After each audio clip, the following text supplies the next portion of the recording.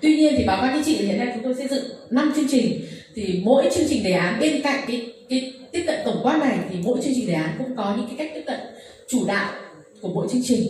Ví dụ như có những chương trình thì tiếp cận phải dựa trên bằng chứng, rồi có những chương trình thì tiếp cận dựa trên vòng đời, vân vân. Thì tất cả những chương trình đó thì nó sẽ có thêm những cái, các cái tiếp cận về về về về chi tiết.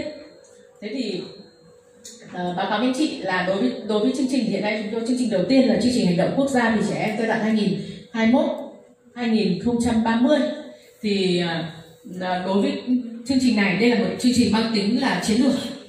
Toàn bộ các vấn đề về trẻ em sẽ được đưa vào thực hiện ở ờ, uh, bằng cách định hướng ở trong chương trình này. Và sau đó thì sẽ có các chương trình chi tiết. Đối chương trình này thì đảm bảo nhằm thực hiện các quyền của trẻ em nhằm phát triển toàn diện trẻ em rồi là đảm bảo cái cơ hội về phát triển uh, cơ hội tiếp cận giữa trẻ em giữa các vùng rồi bình đẳng giữa trẻ em rồi tạo môi trường lành mạnh đặc biệt là phòng chống xâm hại và phòng chống tai nạn thương tích trẻ em. Thì đó là mục tiêu về chương trình hành động. Thế và đối với mục tiêu này thì có mấy có có uh, mấy nhóm mục tiêu. Cái nhóm mục tiêu thứ nhất là tạo môi trường sống an toàn lành mạnh thân thiện với trẻ em phát triển toàn diện trẻ em và ưu tiên trẻ những năm đầu đời.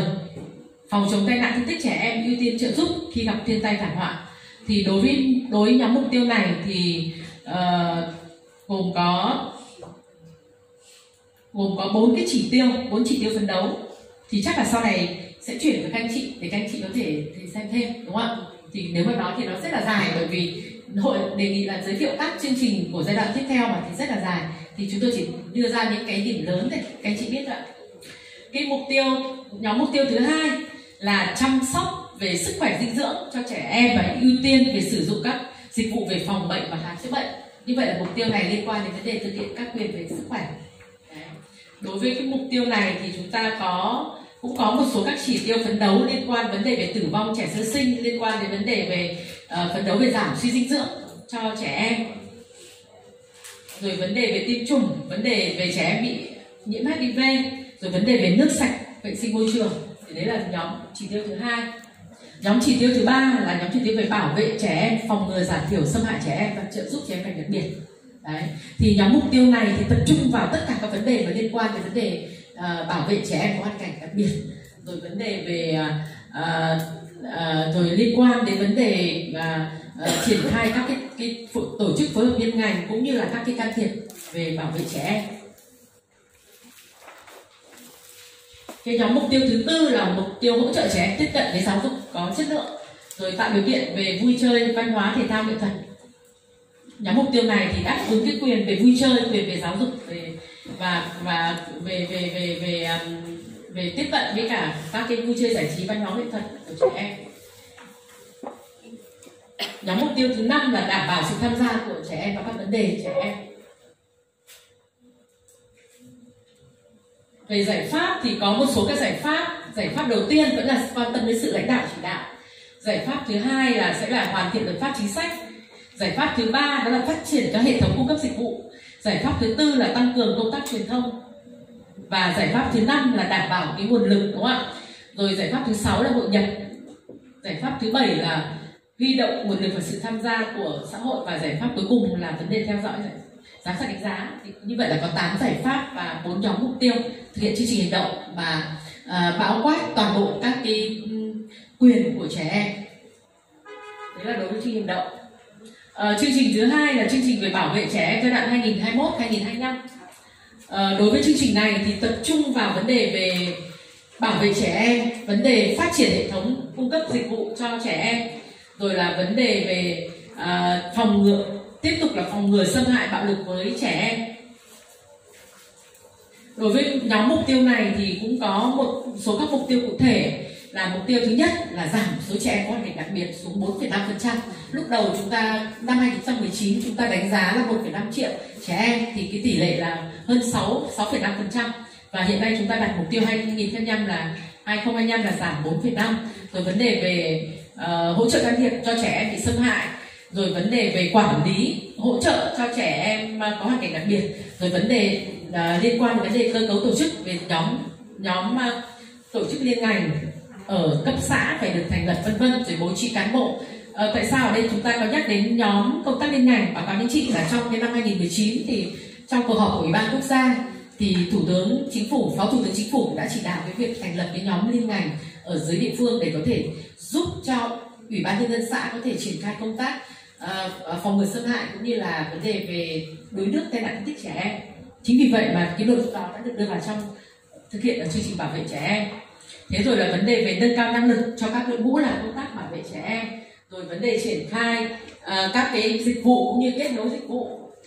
Rồi là vấn đề uh, thí điểm các cái mô hình về kết nối dịch vụ. Thì đấy là chương trình bảo vệ trẻ em.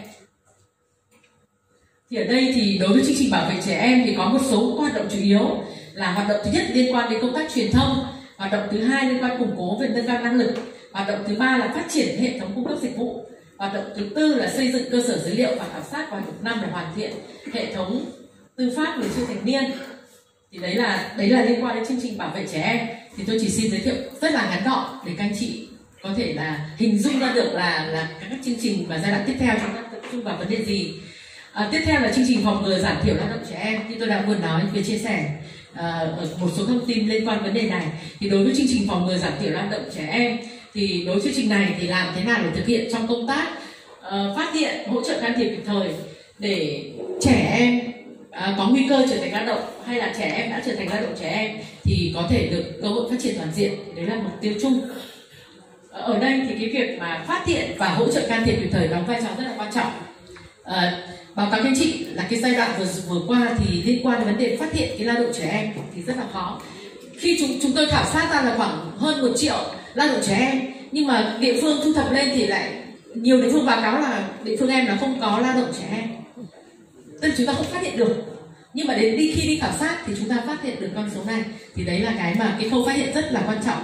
Có phát hiện được thì chúng ta có thể hỗ trợ kịp thời để cho các em à, đối với cái, cái nhóm mà lao động trẻ em thì tập trung vào vấn đề thứ nhất cũng là nâng cao nhận thức về vấn đề phòng ngừa giảm thiểu lao động trẻ em.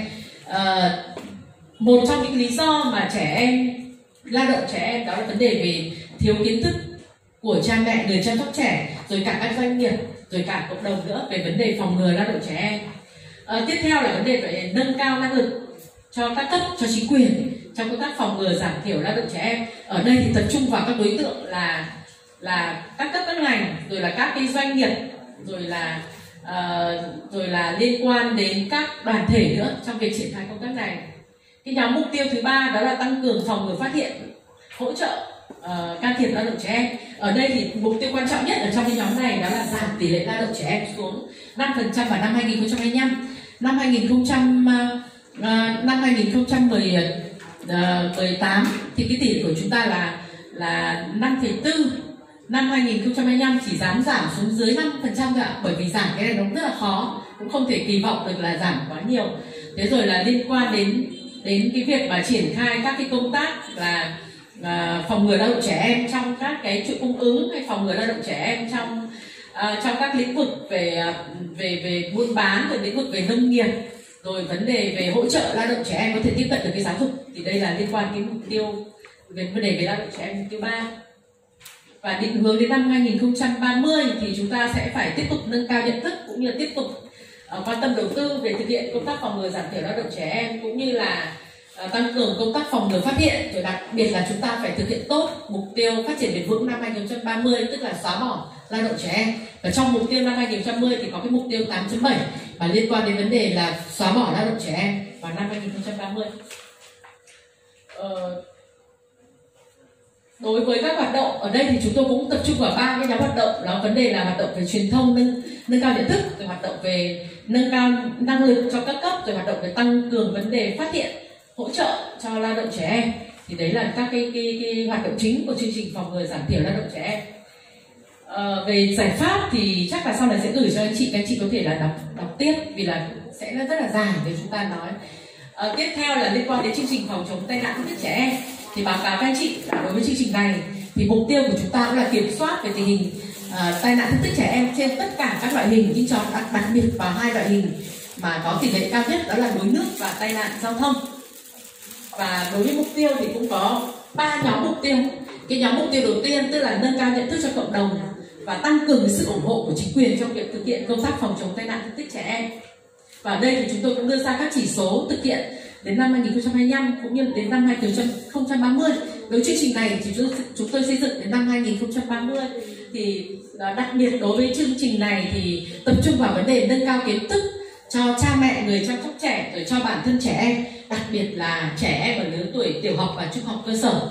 Biết được các kỹ năng về phòng chống tai nạn thương tích trẻ em rồi biết được các cái uh, các quy định về an toàn giao thông rồi là biết được các được cung cấp các kiến thức kỹ năng về vấn đề về an toàn trong môi trường nước. Và các anh chị là chúng ta đều biết là rất nhiều trường hợp vừa rồi chúng ta thấy tử vong do đuối nước đều là biết bơi. Đều nhiều em biết bơi, không biết bơi thì lại ngồi trên bờ. Đấy, nhiều em biết bơi mà lại bị tử vong. Đấy là hoàn toàn là do các em thiếu kỹ năng. Thế vì vậy mà trong cái chương trình giai đoạn này thì chúng ta tập trung nhiều vấn đề về dạy kỹ năng cho các em, đặc biệt là kỹ năng về an toàn trong môi trường nước và dạy bơi cho các em nữa à, tiếp theo thì đến à, mục tiêu tiếp nhóm mục tiêu thứ hai là mục tiêu về nâng cao năng lực cho các cấp các ngành đoàn thể liên quan đến công tác phòng chống tai nạn thương tích trẻ em. Thì ở đây là tập trung vào nâng cao kiến thức cho cán bộ ở các cấp của các ngành và các đoàn thể. Rồi liên quan đến uh, là đến đến cán bộ ở các cơ sở nuôi dưỡng trẻ em cũng như là cơ sở giáo dục ở các cơ sở giáo dục như các thầy cô giáo đấy về vấn đề kiến thức kỹ năng về phòng ngừa tai nạn thương tích rồi là một vấn đề nữa là liên quan đến nhân viên y tế thôn bản. Một trong những vấn đề mà trong uh, trong cái cái cái, cái sơ đồ hay là gọi là một cái ma trận để phòng ngừa tai nạn thương tích thì đó là liên quan đến vấn đề sơ cấp cứu kịp thời. Khi trẻ bị tai nạn thương tích mà được sơ cấp cứu kịp thời thì sẽ giảm cái mà cái cái cái tổn hại của trẻ. Thì cái liên quan đội ngũ đó thì liên quan đến nhân viên y tế thôn bản và nhân viên y tế trường học. Khi trẻ bị tai nạn tích thì có những sơ cứu cấp cứu kịp thời thì đấy là uh, liên quan đến nhóm mục tiêu hai. Nhóm mục tiêu thứ ba thì liên quan đến vấn đề là quan trọng nhất đó là vấn đề xây dựng môi trường an toàn tại gia đình cộng đồng trường học rồi giảm cái tỷ lệ mắc và tử vong do tai nạn thương tích. Thì ở đây báo cáo các anh chị thì trong đối với nhóm mục tiêu này thì tập trung vào xây dựng uh, ngôi nhà an toàn trường học an toàn và cộng đồng an toàn. Ở đây các anh chị không biết các anh, các anh chị chắc được nghe đến các cái tiêu chí rồi ạ. Tiêu chí về ngôi nhà an toàn đúng không ạ? Có ba ba tiêu chí ạ trong đó thì nếu thực hiện được hai ba tiêu chí thì sẽ đạt về ngôi nhà an toàn. Thế rồi tiêu chí về trường học an toàn và tiêu chí cộng đồng an toàn, chúng ta đều đã ban hành và đều đã được triển khai. Thế rồi liên quan đến vấn đề về giảm cái tỷ suất tai nạn thương tích, báo cáo anh chị là giai đoạn 2020 của chúng ta thì tỷ suất mắc tai nạn thương tích là 600 600 trên 100 nghìn trẻ thì ở đây chúng ta sẽ tiếp tục phấn đấu đến giai đoạn 2025 cũng như giai đoạn 2020 tiếp tục giảm. Nhưng tuy nhiên thì cái mức giảm ở hai giai đoạn này nó sẽ không thể nhanh được cái giai đoạn trước. Vì vậy mà chúng tôi chỉ đặt mục tiêu là giảm khoảng 50 550 trên 100 nghìn trẻ, 100 nghìn trẻ. Còn giai đoạn 2030 thì giảm xuống khoảng 400 450 thế rồi giảm cái tử vong do tai nạn thương tích và đặc biệt ở đây là giảm tử vong do tai nạn giao thông và giảm tử vong do đuối nước đấy là một số các cái chỉ tiêu. Sau này các anh chị có thể nghiên cứu thêm. À, đối với ở chương trình thì tập trung vào mấy cái nhóm hoạt động. Cái nhóm hoạt động đầu tiên là vẫn là liên quan vấn đề về truyền thông nâng cao nhận thức. Nhóm hoạt động thứ hai thì đóng vai trò rất quan trọng đó là hướng tư vấn hướng dẫn giáo dục kiến thức kỹ năng cho trẻ em. Ở các giai đoạn trước thì chúng ta chưa đưa cái đây là và là một trong đầu hoạt động. Và đến cái chương trình giai đoạn này thì tập trung nhiều vào vấn đề về hướng dẫn tư vấn giáo dục cho trẻ em các kiến thức và kỹ năng. Thế rồi vẫn vẫn tiếp tục là triển khai nâng cao năng lực về phòng chống tai nạn thương tích, rồi liên quan vấn đề về luật pháp chính sách, rồi tiếp tục là triển khai xây dựng các cái môi trường an toàn, rồi là triển khai các cái can thiệp cụ thể vào một số loại, thì vào loại tai nạn thương tích. Báo các anh chị là giai đoạn trước, chúng ta chỉ tập trung can thiệp vào đuối nước và tai nạn giao thông. Nhưng đến giai đoạn này thì chúng tôi mở rộng thêm can thiệp vào vấn đề ngã, vấn đề về về bỏng vấn đề về súc vật cắn bởi vì trong cái giai đoạn vừa qua thì uh, một trong những vấn đề mà ngã ở trẻ em chiếm tỷ lệ khá cao. Uh, đối với tử vong thì đuối nước là hàng đầu nhưng mà đối với trường hợp mà tai nạn thương tích mà không gây tử vong thì ngã là hàng đầu. Và chúng ta cũng thấy rằng là trong 2025 thì chương trình này thì mục tiêu là nhằm phát triển và nhân rộng mô hình thúc đẩy quyền tham gia trẻ em rồi nâng cao nhận thức năng lực của cơ quan tổ chức cá nhân trong việc thực hiện quyền tham gia của trẻ em. Thì đấy là mục tiêu tổng quát của chương trình.